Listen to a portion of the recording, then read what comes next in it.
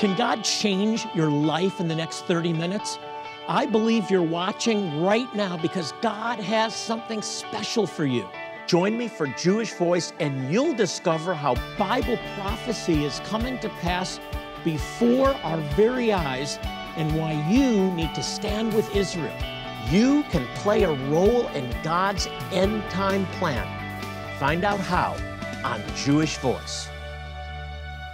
Shalom and welcome to Jewish Voice, where we help you to understand the Jewish roots of your Christian faith, Bible prophecy, and why you should stand with Israel. I'm Rabbi Jonathan Bernis, and today my co host Ezra Benjamin is joining me once again as we celebrate the festival of Sukkot. This week, we're observing one of the appointed times of the Lord, and you'll learn today why it's also called the Feast of Tabernacles and God's purpose behind this important celebration. Ezra, this is the final wrap up, isn't Yeah. it? The final Yeah. event in God's prophetic history, Sukkot. It was the final harvest of the year, but it also has implications for every follower of Jesus the Messiah. Yes, so important for you at home to understand. Jonathan, let me back up for a minute. This idea of appointed times, or Moedim in Hebrew, why are these so important for Christians? If these are Jewish holidays, what's the significance for non Jewish believers in yeah, Jesus? and, that's I'm sure you're watching asking that very question. This is not just the Jewish feasts. I was raised with uh, an understanding that we had our own holidays, Right. Our Jewish holidays, Sure. and Christians had theirs, They had and they too were completely separated. In reality, there are divinely appointed times. Hmm. We call them Moedim. They're appointed times of the Lord that are part of a divine calendar, a biblical calendar that is that transcends this earth. They're heavenly. These are these are moments, history, historical events, but more than historical events. They have a direct fulfillment, but they also have a prophetic or continuing fulfillment because they are supernatural, they're- they're divine. Ezra, they are God's timetable. They're Wow. God's uh, they're God's calendar. These are this is God's day timer, if you will. Wow. And every appointed time has not only a direct fulfillment, either through an event that was historical or through a harvest, but points to Jesus. I, I want to go back and read something that I read or, or show it in, in Colossians chapter 2. Okay. Verse 16, we're told that the Sabbath, the new moons, Right, the right. It wasn't the thing themselves. We're not judged for the thing itself, but they all pointed to Christ. Okay. They all point to the Messiah, be it his first coming or his return, because they're part of God's redemptive plan. They're markers, they're bookmarkers Okay. in God's prophetic calendar for the world, not Wow. just for the Jewish people. Wow. And they're important to everyone. Definitely. So, the reason these are important to our audience at home is because these aren't just things that the rabbis made up. These aren't just Jewish traditions. These are actually biblical appointed times that have a significance on earth and in heaven. Yeah, and they weren't just given to the Jewish people. They're not just given to Israel because they have further significance in Messiah. Let me give you an example. This week, Sure. we're celebrating tabernacles. Yeah. We're celebrating, we call it Sukkot in Hebrew, but it's the Feast of Tabernacles mm-hmm. or booths. Mm-hmm. They remember the Exodus out of Egypt Sure. and, and the, the, the, the call to, to, to move when the cloud moves. Mm-hmm. So we just had simple dwelling places. Sure. And so for a week, we set up a temporary booth in our backyard, on our porch, wherever, mm-hmm. and we, we eat our meals Right. there. And you see them all over Israel. You see them, of course, in Jewish communities. Sure. But here's what it says in Zechariah in chapter 14. Listen to this. Okay. In Zechariah chapter 14, which the context of chapter 14 uh, is the last days. It's talking about uh, the day of the Lord coming and there being great turmoil in Jerusalem and, in fact, the world.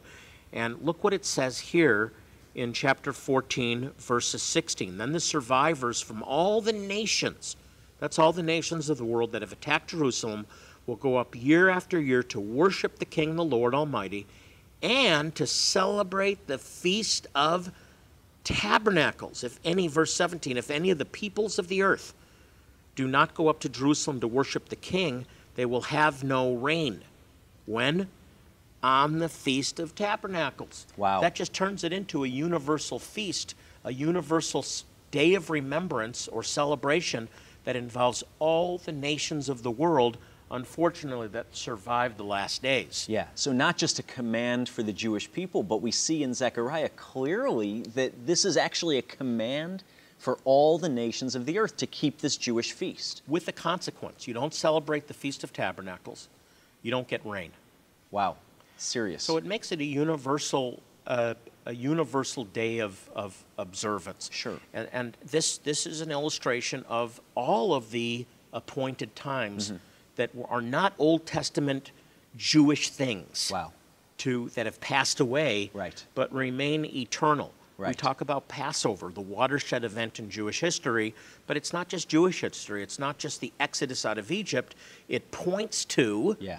the greater revelation, the greater redemption in the Messiah, the Lamb of God who takes away the sins of the world. Right. Last week, Ezra, we talked about Yom Kippur, the Day of Atonement, and the idea that during that moment, that, that day, the high priest would lay hands Mm-hmm. on two goats. One of them would be sent off into the wilderness bearing the sins of the people. Right. Who is that? The greater fulfillment is Jesus, Yeshua. He is uh, taken to a desolate place in the crucifixion and he dies outside the city in this desolate place. And just like the scapegoat, he is the scapegoat who bears our sins Yeah, in so his body. the fulfillment of that day of covering, that day of atonement, is Yeshua, Jesus himself, our scapegoat. Yeah, so now, now we have Sukkot, which has huge prophetic significance Hmm. for all the nations of the world. Jesus in the Passover, Jesus in Yom Kippur, Jesus in Rosh Hashanah, Jesus in the Feast of Tabernacles. Jesus in everything. Why Yeah. don't we just say that? But the, but, the, but the appointed times of the Lord, along with Sabbath and everything else in the Old Testament, are roadmaps that point to Yeshua, Yeah, to Jonathan, Jesus. you've produced some fantastic teaching materials, some resources like this DVD that we want to get into your hands so you can understand the significance of the feasts of God, those Moedim, those appointed times, and what they mean for you and your family. Yeah, Sukkot is a universal appointed time. It involves the nation. Yeah. It inv- nations. It involves the church. It involves you specifically, Mm-hmm. and that's why I'm teaching. I did a teaching on celebrating Sukkot and also the fall feasts and Hanukkah. Yeah. This will help you understand what these appointed times mean for you. Because listen to me, there's blessings in every appointed time of the Lord, and they point to Yeshua. So if you want to get to know Jesus better, understand the fall feasts and how he fulfills the fall feasts. And also this beautiful uh, uh, devotional, Appointments with God. Smells good too. It has a daily, it's a daily devotional.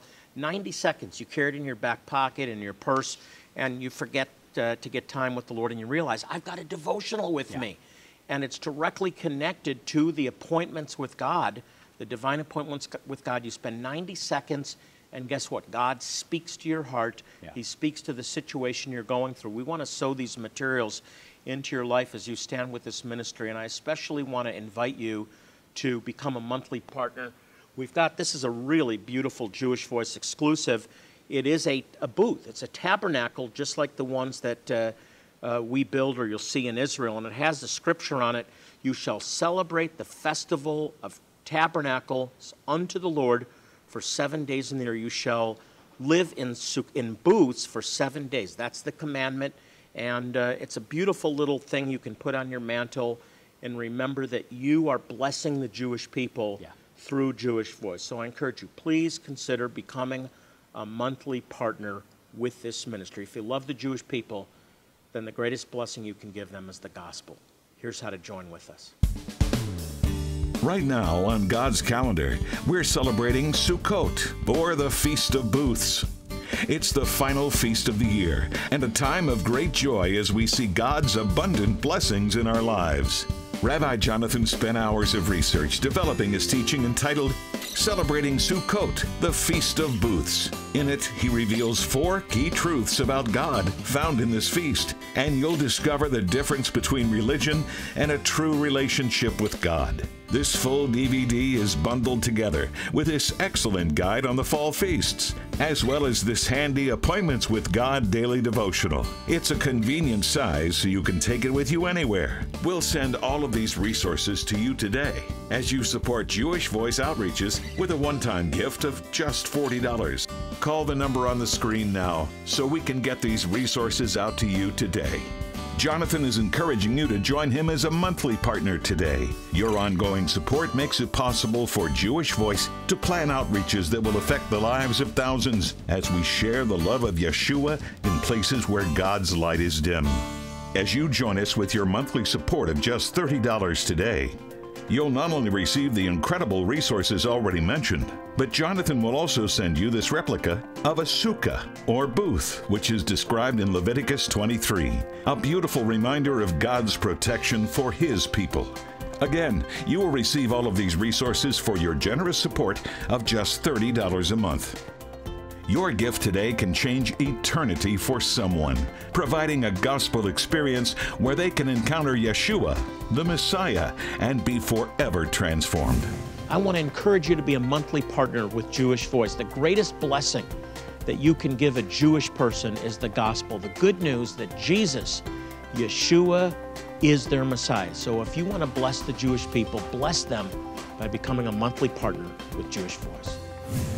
Call our 800 number now and let our representative know which level of giving you'd like to participate in. Your gift today will be used to bring the gospel of hope to thousands around the world. And again, your monthly partnership with Jonathan would be greatly appreciated. If you prefer, you can always choose to give online at jewishvoice.tv, or you can also donate by mailing your gift to the address on the screen.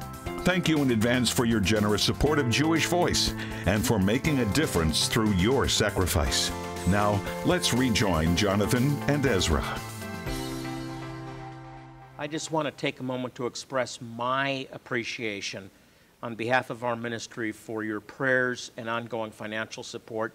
You're making all the difference in enabling us to reach Jewish people and their neighbors with free medical, dental, eye care, and most importantly, the gospel and uh, it's making all the difference. It Yeah. really is. Well, Ezra and I are talking about Sukkot, the Feast of Booths or the Feast of Tabernacles, and this is the an ingathering. Ezra, I believe right now, as people watch, that they, that they can claim, you can claim this blessing of ingathering. It's a harvest. Maybe your children have strayed from the Lord. Maybe your grandchildren have strayed from the Lord. Maybe your spouse has strayed from your family, not just the Lord. This is the time to call them back. This week is the ingathering. It's the harvest. Yeah. The angels of God are being dispatched right now to draw your loved ones back, back to Him, back to you, back to, He wants to restore families right now.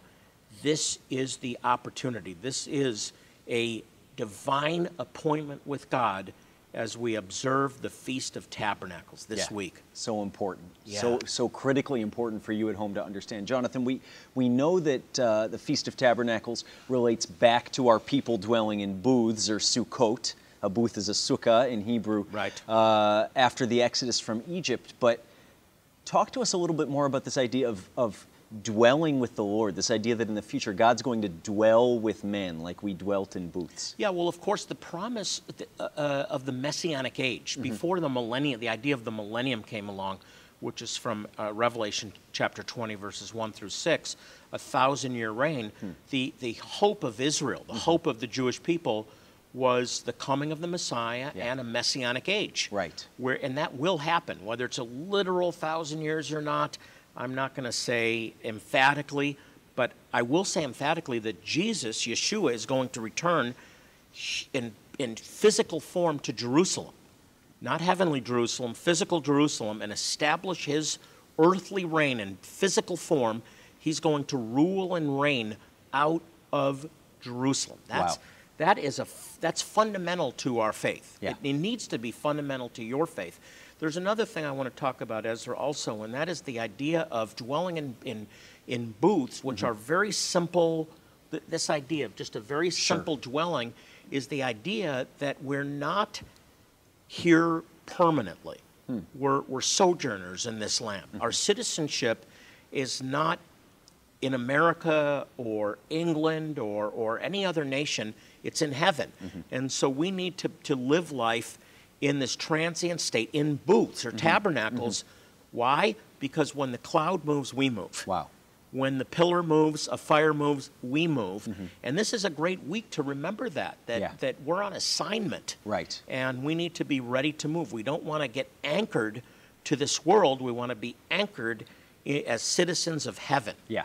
That's a great message to, to just, and I talk about it quite a bit in my teachings on Sukkot. Definitely. And Jonathan, actually, our people, if you look at the materials that we're commanded to build these Sukkot with once a year, they're materials that can't last long.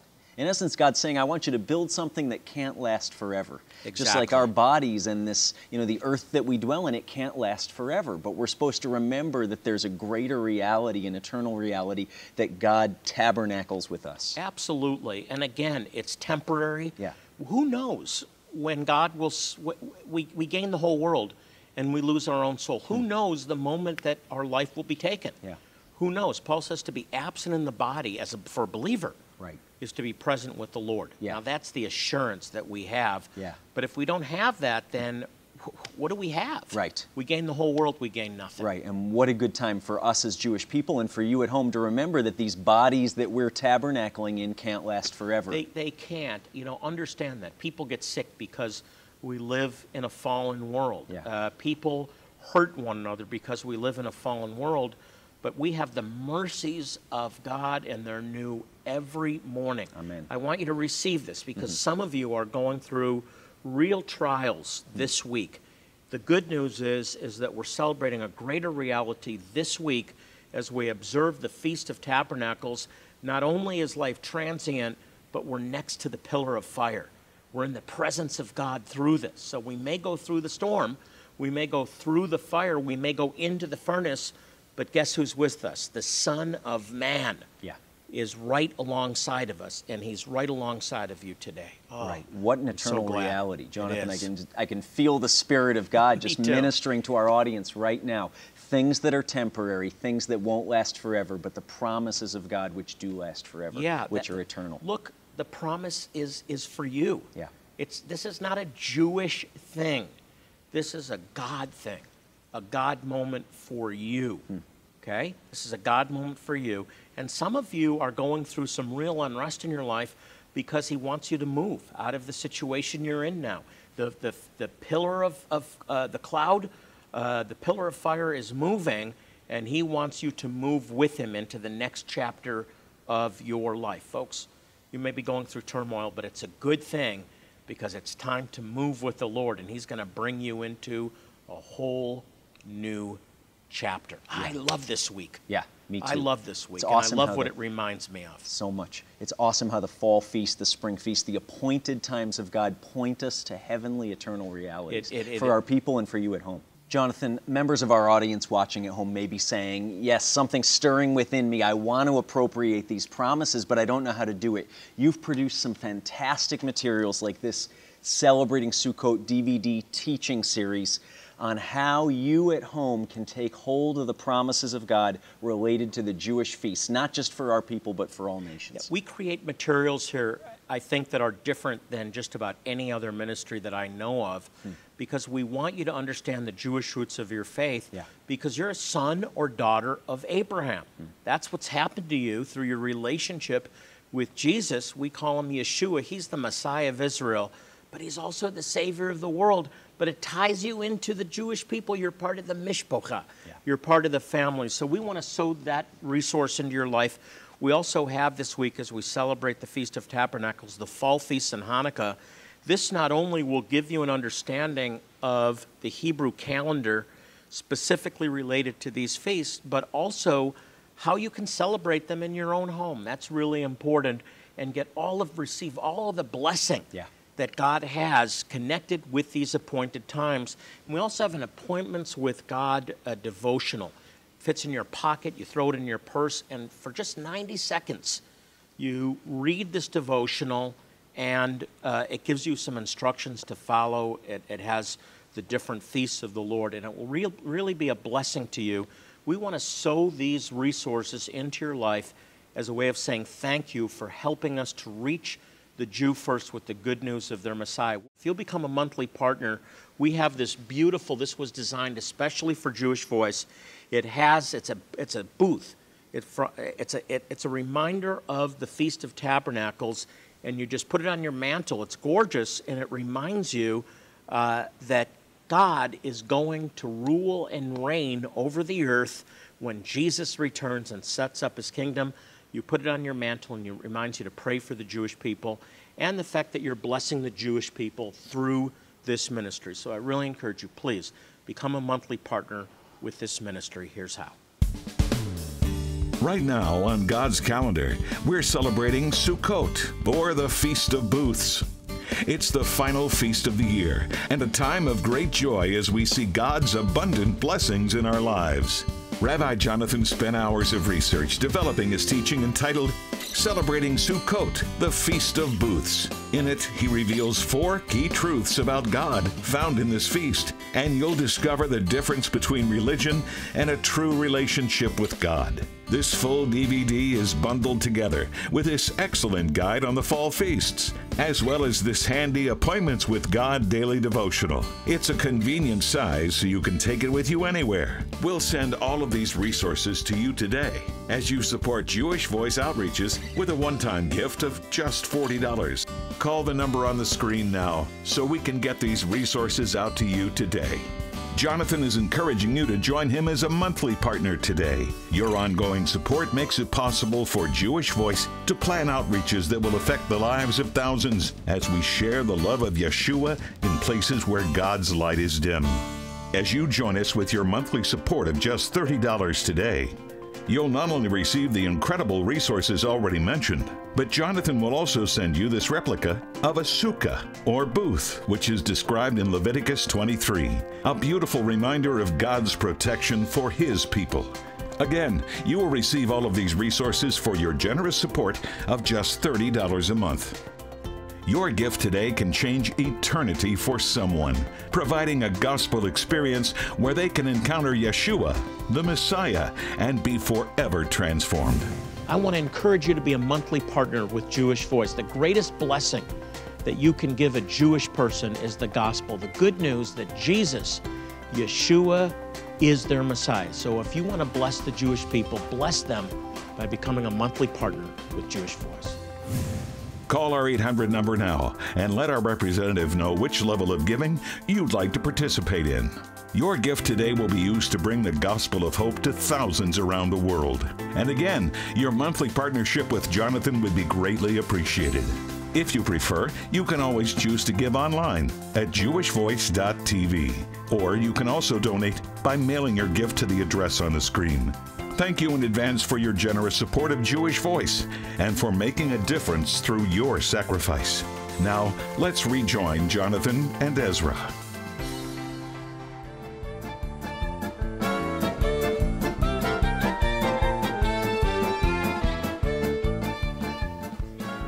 Welcome back to the program. Today we've been talking about the Feast of Booths or Tabernacles, Sukkot, and what it means to you as a believer. This is an eternal observance, an eternal moed, a remembrance, appointed time. And uh, I really encourage you to, to celebrate this in your own home. Now we're going to jump right into a few questions that we've received from you, our viewers. Ezra, I love hearing from our viewers. Yeah. I love answering questions. We get so many, but we've chosen just a few. Yeah. So let's jump in. We've got some fantastic ones again today, Jonathan. First of all, Larry from Nampa, Idaho asks I've heard that the observance of Sukkot is a celebration of God being present in all circumstances. Is this true? Yeah, Larry, uh, I, think, I think it is in part. The idea of, of Sukkot is that we're living in booths, that, that our life is transient, and that we're ready to move with the Lord. So I think it's true when we actually follow that and we, we're, we're, we're moving when the cloud moves or the pillar of fire moves. The, that's the idea here, that this life is temporary, we're on assignment, and the, the objective is to stay in the will of God, to stay in the flow of God's blessing when we pray according to his will, he hears us. Yeah. It's about getting into his will. How do we do that? By seeking first his kingdom and his righteousness, and everything else will be added to you. I think that's a great verse yeah. that, that, typifies the Feast of Tabernacles. Good great. question. Very good. Yeah. Michaela from Sumter, South Carolina asks very simply, what does the word Sukkot mean? Michaela, easy answer. It's about booths. It's a Sukkot is the plural of sukkah, which is a temporary dwelling that has uh, branches and fronds. And for seven days, we're living or certainly eating meals and remembering the children of Israel who lived a transient life and moved when the Lord moved or said it's time to move and his presence moved. We move with the presence of God. It, mean, it means booths or tabernacles, temporary dwellings. Yeah. Jonathan, yeah. I know we want to pray for our audience before we, we run out of time today. We do, we do. Uh, this is an, a great week to pray for the ingathering of family that have departed. Maybe your spouse has left and you're praying for them to return. Well, this is the week. Latch on to this promise that God wants to, to through the dispatch of his angels, yeah. regather people to himself mm-hmm. and to each other, to mm-hmm. family. And so we agree in the name of Jesus, in the name of Yeshua, for ingathering. Yeah. Lord, thank you for bringing back the children and the grandchildren mm-hmm. and the spouse and the loved ones, the mothers and the fathers, the brothers and the sisters and the friends, bringing them back to you if they've strayed. Lord, bring them back mm-hmm. To each other, back to family. We yeah. declare it yeah. during this week of ingathering. Mm-hmm. And Lord, for those that are stuck, kind of just stuck, Lord, may they move now with you in your yeah. presence. We speak the presence of the living God mm-hmm. into your life, into every situation. Amen. In Jesus' name, we agree together in the name of Yeshua. Well, if you have prayer needs or you'd like more information about our ministry, you can log on to our website. It's jewishvoice.tv, just one word, jewishvoice.tv. We have lots of resources for you on our site. Just know this as we finish the, the program God loves you and so do we. We're yeah. here for you. As we close our program, I also want to remind you pray for the peace of Jerusalem. Psalm 122 6 exhorts us, exhorts us to pray for the peace of Jerusalem. So please pray for the Jewish people during this important week of tabernacles. Until next time, this is Jonathan Bernis with Ezra Benjamin saying shalom. God bless you.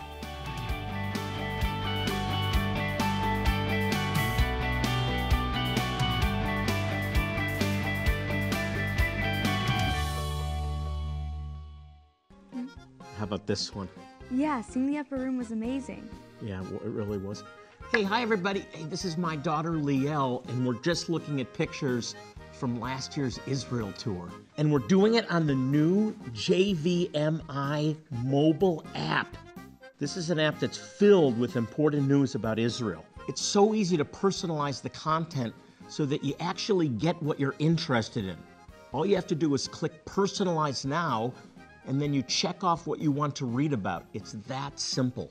You can follow along as we bring the gospel to Jewish people in remote places. You can see how Bible prophecy is coming to pass now.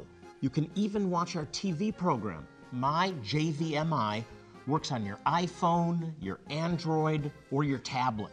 Here's the best part it's free and you can download it right now. Liel, tell them how. Just go to your app store and download My JVMI. Again, that's My JVMI.